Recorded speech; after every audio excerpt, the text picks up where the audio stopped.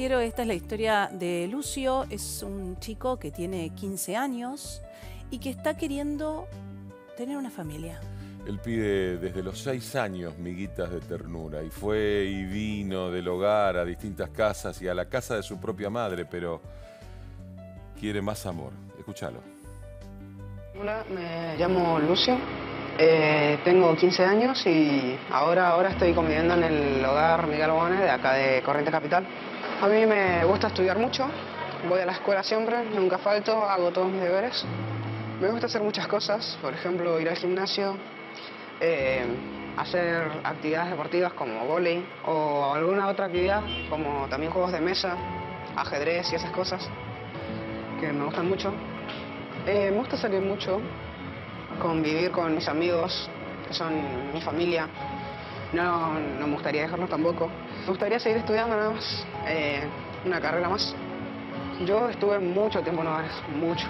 Eh, la primera vez que estuve en el hogar fue a los seis años por ahí, en el Tiamando, que después me llevaron al Domingo Sabio y ahí estuve de los siete a los ocho, o no me acuerdo. Después volví a entrar cuando ya tenía nueve o diez. Después entré a los doce, no estuve mucho tiempo y después entré a los trece otra vez. Y de, ahí ya estoy acá. Siempre decía, me decía lo mismo mi mamá, voy a cambiar, voy a cambiar, voy a cambiar y nunca cambio. Y bueno, sí, bueno, si no vas a cambiar, ya está. Si no me vas a querer tampoco, listo. Va a haber otra gente que me, que me quiera. Entonces él le pidió a la jueza, no quiero ir más con mi mamá, no me mandes más con mi mamá. Quiero una familia que me quiera. Recién, mientras mirábamos la nota, Gus le preguntaba a Luis, ¿no? ¿Cómo se llega a esto? Y Luis nos explicaba que es el último recurso porque lo primero que pasa es eso que decís, es la intentan una y otra vez la revinculación con la madre que, está, que, existe. Y fue con el resto de la familia, las abuelas, pero fue y vino porque nadie se hizo cargo. Y sí se hizo cargo la jueza Carolina Macarrén, de Corrientes, que está en comunicación con nosotros, que hasta vos sabés que tiene en su WhatsApp, en la foto de perfil, la foto con Lucio. Hola, doctora, gracias por este tiempo con nosotros. Hola. Hola, buenas, buenas tardes ya, Débora, Luis. Es un gusto para mí estar acá con ustedes y poder contarles un poquito más de Lucio.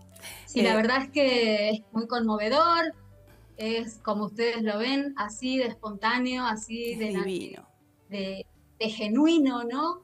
Y es un chico que, tiene muy claro qué es, lo que, qué es lo que busca y qué es lo que desea.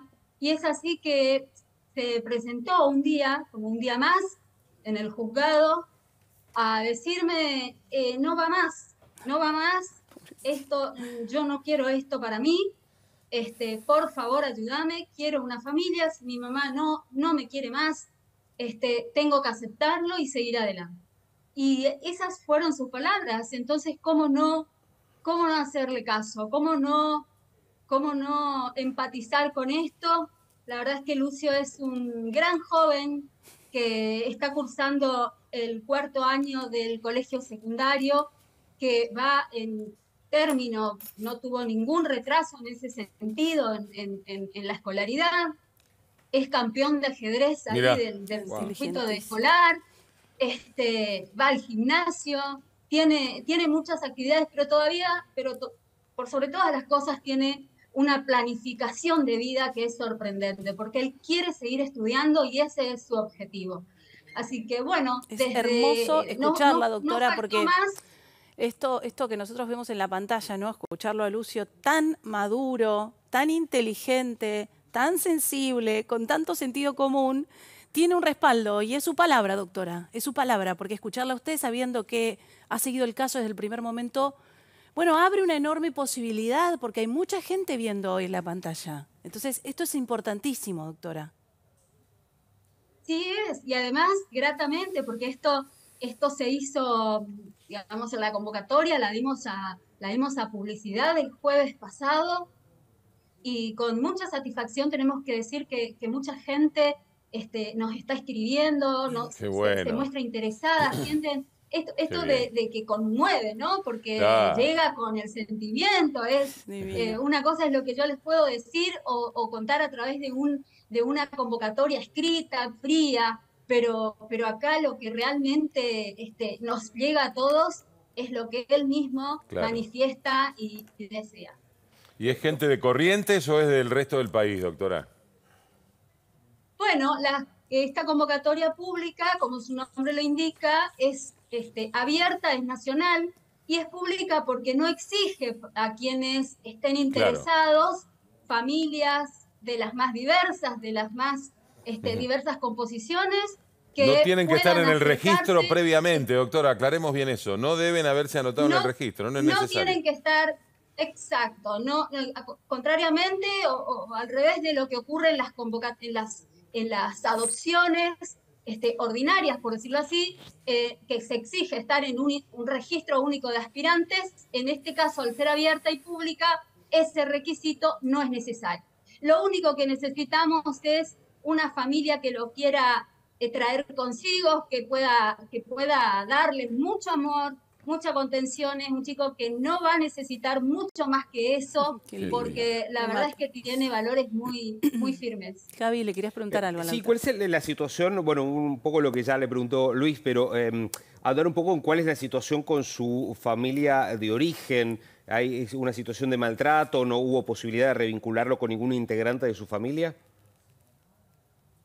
Bueno, este, sí, tiene familia, tiene familia, esa es la realidad, pero la familia ocurrió esto, por seguir esperando a la familia que una y otra vez asumían ese compromiso pasajero de que alguna situación se modificara, nos han pasado los años, a Lucio se le han pasado los años y no se ha modificado nada. Nueve años pasaron. Dijimos, hasta acá llegamos y bueno, estamos en busca de la familia que seguramente vamos a encontrar por ahí. Doctora Cortito, ahí nosotros ya estamos poniendo los teléfonos en pantalla. Le quiero preguntar, está bien, Lucio lleva una vida en Corrientes, sería interesante que la gente sea de Corrientes para no extirparlo, digamos, hasta desde su lugar natal pero no necesariamente tiene que ser de Corrientes, ¿no? O sea, puede ser de cualquier lugar. No necesariamente. Él está dispuesto, él quiere amor, o sea, él quiere estar adentro de una familia que lo quiera, mi amor.